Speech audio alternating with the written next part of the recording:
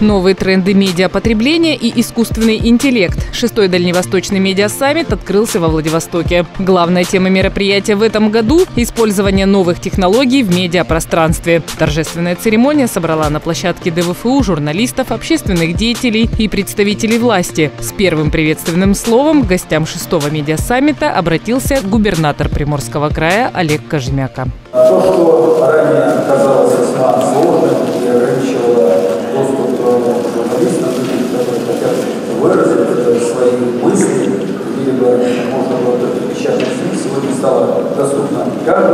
Мы видим, что появляются новые блогеры, которые так иначе формируют за себя информационное пространство, Глава региона отметил, что наиболее актуальный вопрос современной медиаповестки – это технологический прорыв информационных средств в публичную среду. Кроме того, глава региона подчеркнул, что в погоне за популярностью СМИ необходимо оставаться максимально объективными и добавил, что инструментом по донесению информации для населения является государственная поддержка местных и районных СМИ, краевого телевидения и изданий.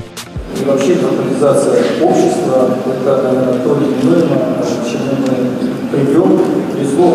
В системе здравоохранения, когда э, непосредственно с ФАПа можно э, через э, сеть, через всевозможные системы связи вот, довести, скажем, диагноз больного до районной клиники, краевой клиники, чтобы правильно оценить возможности дальнейшей маршрутизации, централизации.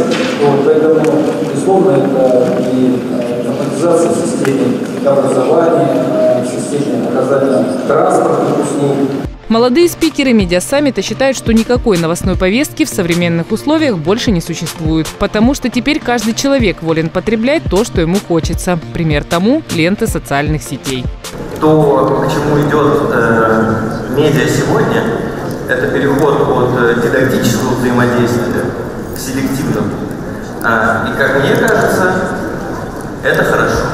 Первый день форума эксперты также обсудили будущее интернет-СМИ, работу региональных СМИ, креативные технологии, нативную рекламу, распространение видео, урбанистику, научную коммуникацию и работу блогеров. Но мне кажется, что гораздо правильнее было бы э, понять, что мы не вернемся туда и понять, как с этим работать. Наверное, нельзя управлять, но можно направлять. Наверное, нельзя все контролировать, но можно понимать те примерно закономерности, как что происходит, и попытаться как-то с этим работать. Медиасаммит – это отраслевая конференция специалистов в области СМИ, общественных отношений и информационных технологий, которая впервые прошла в Приморском крае в 2014 году. Дальневосточный медиасаммит – это единственная коммуникационная площадка для специалистов СМИ, пиар и блогосферы Дальнего Востока. Целью медиасаммита саммита является объединение медиасообщества Дальнего Востока, решение актуальных вопросов в сфере массовых коммуникаций региона.